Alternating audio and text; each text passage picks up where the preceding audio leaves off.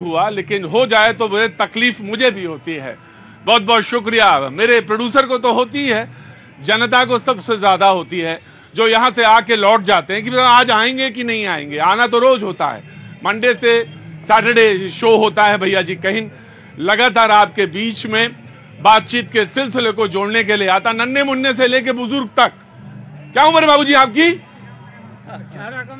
अठारह कम सौ। और उनकी कितनी उम्र है? सेवन ईयर्स ओह क्या नाम है आपका? इनका इनका इनका आस्था। आयसा बहुत बहुत शुक्रिया। थैंक यू सो मच बहुत बहुत शुक्रिया। कहाँ से आना हुआ आपका? बली महाराज बल्ली महारान से। आ बल्ली महारान की वो गलियाँ। कौन भूल सकता है? और फिर जब वो याद आती हैं तो गालिब भी याद आते हैं। मेरा कई बार जाना हुआ है वहाँ पे।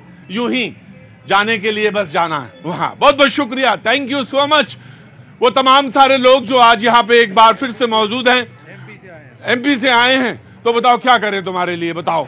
एक क्वेश्चन है। आप मेरा एक क्वेश्चन है। मतलब एक निवेदन है सरकार से कि जल्दी से जल्दी एमपी पटवारी की ज्वाइनिंग करवा दे। जब मैं चुनाव में घूम रहा था एमपी में तो ये मुद्दा बार बार आ रहा था पटवारी की ज्वाइनिंग करा दी जाए।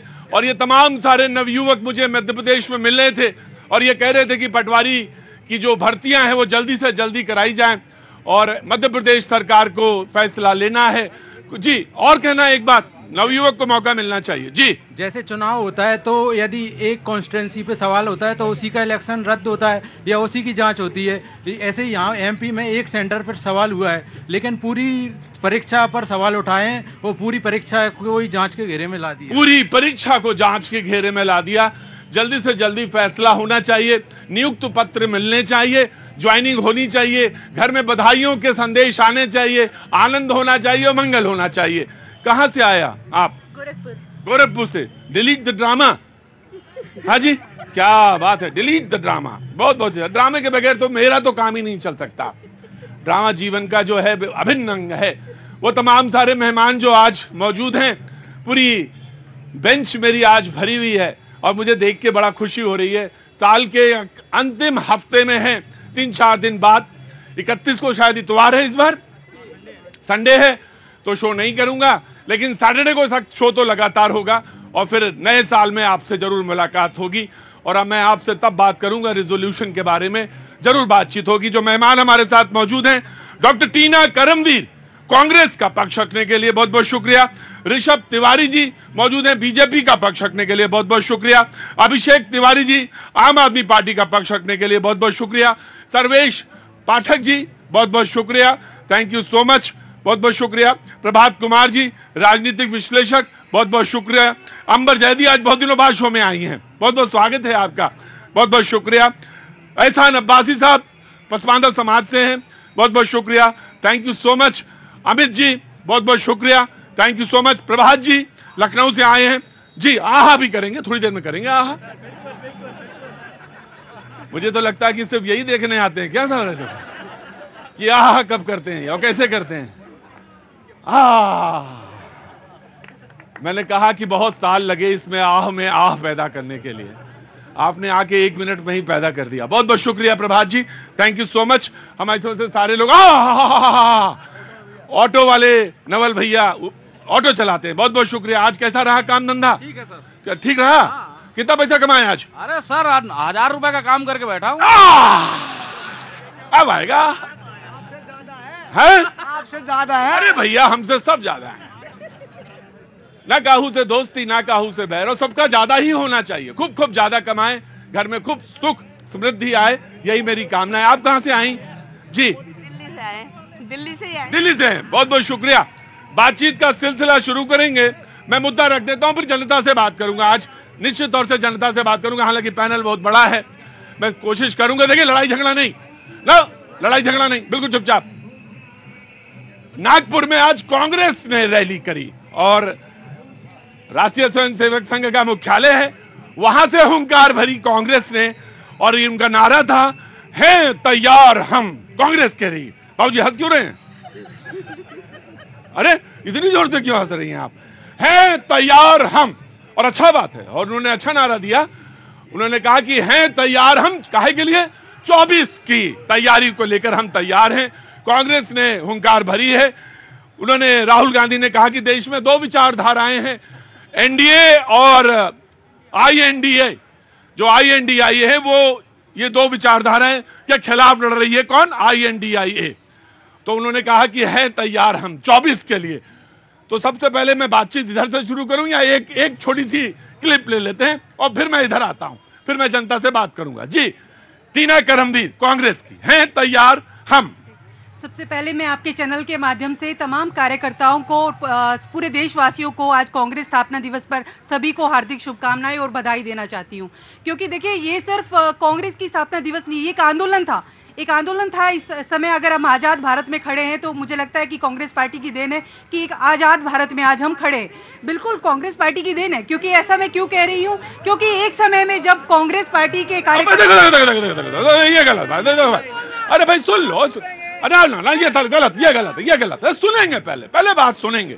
जी फिर करेंगे क्योंकि देखिए जब कांग्रेस पार्टी के कार्यकर्ता आज़ादी के लिए अंग्रेज़ों से लड़ रहे थे वहीं आरएसएस के लोग वहाँ गुलामी कर रहे थे अंग्रेज़ों की। तो हम क्यों नहीं कहेंगे कि आरएसएस आरएसएस जो है उनके साथ उनके साथ गठबंधन किया हुआ था अंग्रेज़ों के साथ उनके साथ वेतन ले रहे थे उनके और हम लोग जो है आज़ादी की लड़ाई लड़ रहे थे। लड़ाई लड़ रहे थे कांग्रेस पार्टी? उन्नीस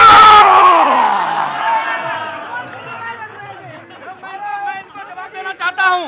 1931 से लेके 1947 तक एक आंदोलन बताइए जो कांग्रेस ने किया हो। 1942 का आंदोलन छोड़ो बाहर छोड़ो यात्रा कर मैं ये बोल एक बार सुनिए 1942 जिसमें दो महीनों में ही इन्होंने वो जो है अपना आंदोलन वापस ले लिया। क्यों जानते हैं। एक बार सुनो मुझे मैं बता रहा हूँ और ये कह रहे हैं कि कांग्रेस ने कुर्बानी दी। मैं आपको बताना चाहता हूँ देश के लिए कुर्बानी दिया नेताजी सुभाष चंद्र बोस ने। देश के लिए कुर्बानी दिया चंद्रशेखर आज़ाद। राजगुरु सुखदेव सरदार भगत सिंह ने। और एक बात मैं और कहना चाहता हूँ इनको कि आप बताइए कि आप कह रहे हैं कि हमने कांग्रेस ने देश के लिए कुर्बानी दी तो आप बताइए कि कांग्रेस पार्टी की सरकार थी।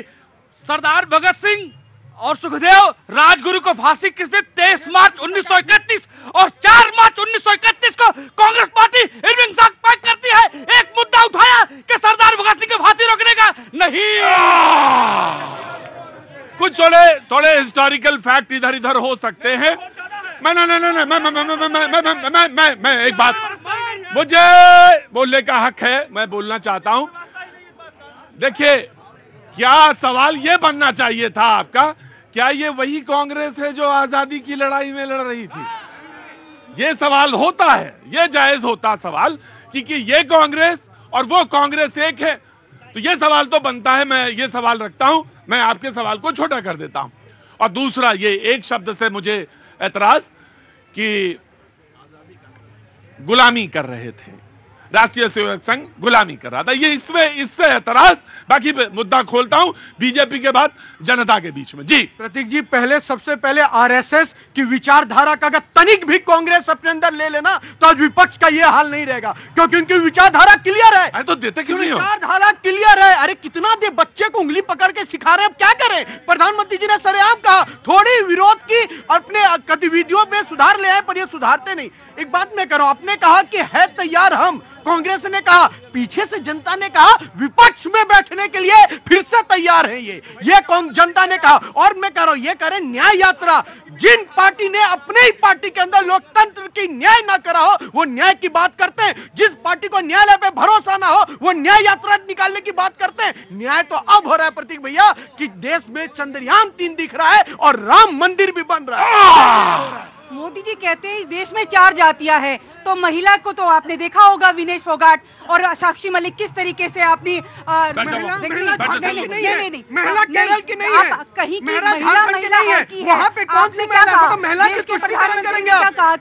कहा उत्थान के लिए कर रहे हैं। कैसे महिलाओं का